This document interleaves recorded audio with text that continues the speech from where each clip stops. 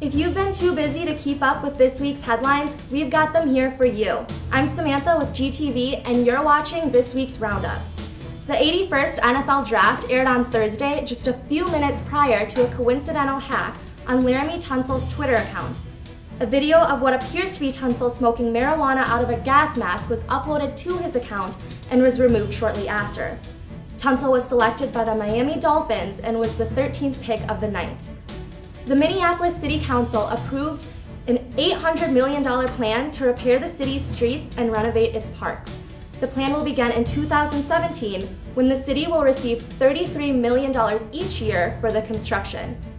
An Oklahoma court sparked controversy after ruling that oral sex is not considered rape if the person is intoxicated or unconscious.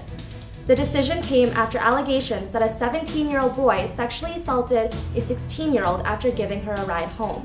The girl had a blood alcohol level of 0.34 and said she has no memory of getting home that night. The city of Cleveland has reached a $6 million settlement with the family of Tamir Rice in an effort to settle a civil rights lawsuit. Rice was 12 years old when he was shot and killed by a police officer back in 2014. Law enforcement officials said prescription opioid medication was found at Prince's home in Chanhassen, Minnesota, after he passed away last Thursday.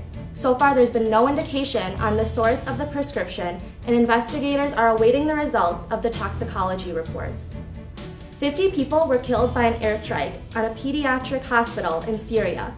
U.S. officials say the attack was most likely caused by the Syrian government. Thanks for watching this week's Roundup. Be sure to check back every Sunday to get the latest headlines.